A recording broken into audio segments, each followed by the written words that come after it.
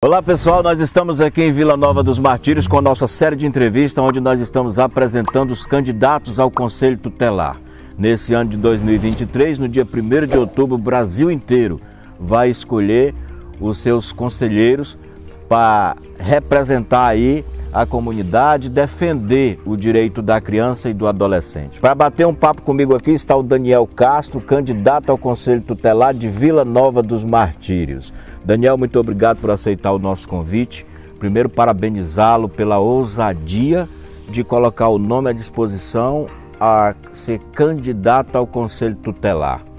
Quem é Daniel Castro? Sou natural de Vila Nova dos Martírios, tenho 22 anos, nascido e criado aqui na cidade e região, né? Tenho colocado meu nome à disposição para uma das vagas para estar representando o nosso município e tentando desenvolver um bom trabalho na nossa sociedade. Por que você quer ser conselheiro tutelar? Quero ser conselheiro tutelar para poder buscar inovações, projetos e soluções em busca de nossos jovens e adolescentes, né? Na nossa cidade e região. Ah, Daniel, essa é boa, essa, essa, essa pergunta que eu vou fazer agora, todo mundo tem vontade de fazer.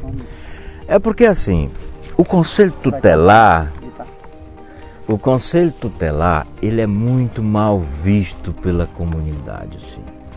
E não é nem assim, porque ninguém gosta do conselho tutelar, porque parece que houve uma falta de comunicação, isso tem melhorado bastante, mas houve uma falta de comunicação que cria uma barreira entre o conselho e a comunidade. Né? Então as pessoas veem vocês como alguém que está desempregado, que botaram o nome porque quer um emprego, é, outros diziam assim: ah, nós vamos nas festas, chega lá, tá cheio de gente de menor lá e esse conselho não faz nada, esse conselho não serve para nada. Verdade. Ou seja, você sendo eleito, conseguindo chegar lá, que proposta você vai propor ao colegiado para mudar essa realidade, quebrar essa barreira e dar uma inovada e aproximar o conselho da comunidade? É, neste caso, né, como um dos projetos tem o, é, em mente para colocar em prática. Palestras né, no município, no, nos municípios, povoados, nas escolas, né, praças públicas, eventos públicos, conscientizando, informando sobre a importância do conselho, os seus direitos, né, as violações também contra os direitos da criança e do adolescente e buscar aí um bom trabalho, né, na sociedade e ajudar nossos jovens e crianças. Até para quebrar essa barreira que tem entre o conselho e a comunidade, fica uma coisa meio distante, ninguém Sim. se entende, um fica falando mal do outro e o é. conselho na dele. Aí é... vamos fazer essa junção, né? Como é que está o conhecimento em relação ao Estatuto da Criança e do Adolescente? Neste caso aí, como o senhor falou, né?